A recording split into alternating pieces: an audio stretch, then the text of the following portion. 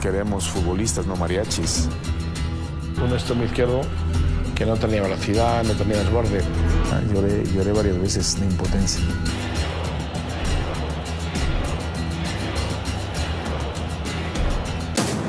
Hugo Sánchez, de Indio a Pentapichichi. Nacido en la Ciudad de México y estudiante de odontología, Hugo, con tan solo un año en las canchas, consiguió su primer campeonato con los Pumas de la UNAM. Su ángulo viene Hugo, tira, gol.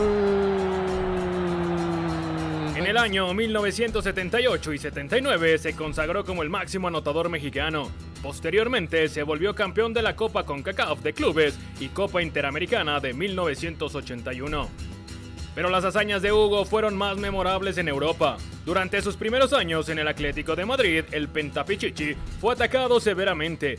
Hugo era recibido con insultos racistas cada vez que se incorporaba a las canchas.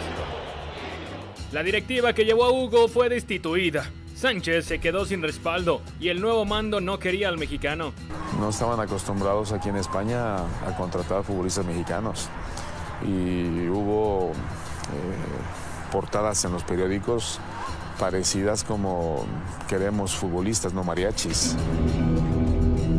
El nuevo entrenador y luego el nuevo directivo que entró, pues no les interesaba que triunfara, porque ellos no me trajeron, no me contrataron.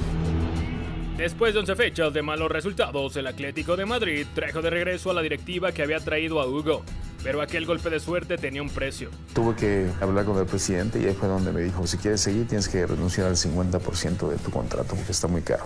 Trágame el bolígrafo, lo firmo y ya verán cómo, cómo ese mariachi les va a demostrar metiendo goles. Los mejores números de Hugo llegaron en su cuarto año. 19 goles en la temporada 84-85 que le valen como el mejor goleador del campeonato.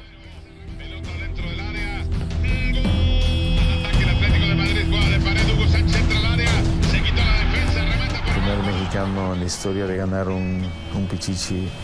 Lo festejé casi como si hubiese ganado la Copa del Mundo. La temporada no acababa mejor para Hugo y sus dos goles ante el Athletic Club de Bilbao le daba el título al Atlético de Madrid tras siete años de sequía. Pero las buenas noticias no acabaron ahí, porque Hugo recibió una llamada inesperada. Afortunadamente pudimos conseguir ganar una Copa del Rey. Y obviamente era el hombre deseado. Recibo una llamada telefónica. Futuro presidente del Real Madrid, Ramón Mendoza, eh, me dice que quiere, quiere contratarte.